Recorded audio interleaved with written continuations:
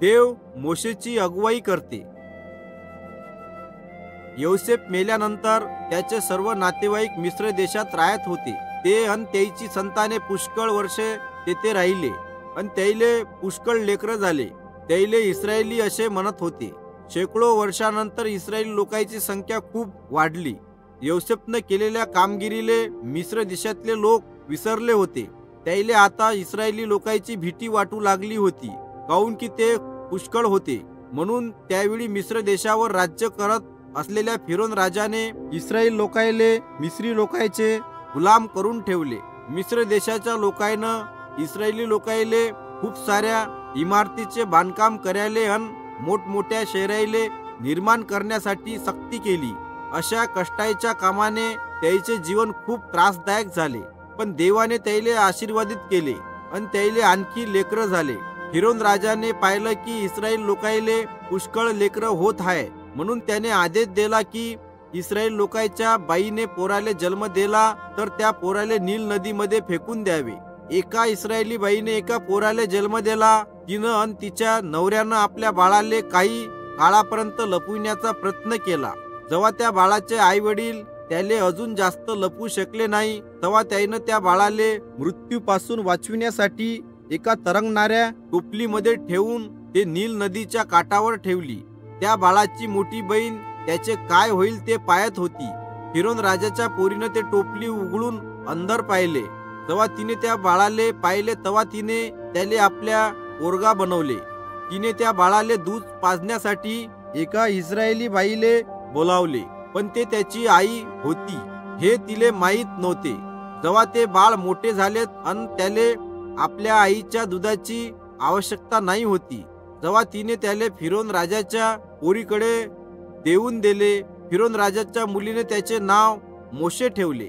एका दिवशी जेव्हा मोशे मोठा झाला तेव्हा त्याने एका मिश्र देशाच्या माणसाले एका यहुदी गुलामाले मारताने पाहिले. मोशेने आपल्या इस्रायली भावाले वाचवण्याचा प्रयत्न केला. मले कोणी पाहत नाही हे पाहून मोशेने त्या मिश्र देशाच्या माणसाले मारून टाकले. आणि त्याचे शरीर जमिनीत रोवून टाकले. पण मोशेने केलेले हे काम कोणीतरी पाहिले होते.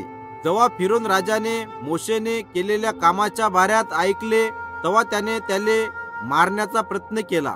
फिरोन राजाच्या शिपायाईपासून सुरक्षित राहण्यासाठी मोशे मिश्र देश सोडून जंगलात पडून गेला. मोशे आता मिश्र देशापासून दूर जंगलामध्ये मेंढरे चाऱ्याले लागला होता. त्याने तिथं एका बाई संग लग्न केलं आणि त्याले तिथं दोन पोरं झाले. एका दिवशी मेंढर चारत असताना मोशेने एक झाड जळत असताना पाहिले.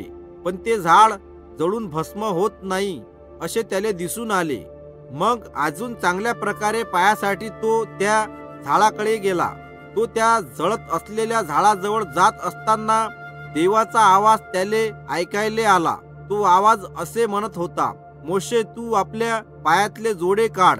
कारण तू पवित्र भूमीवर उभा आहे देवाने म्हटलं मी आपल्या लोकायचे दुःख पाहिले हाय.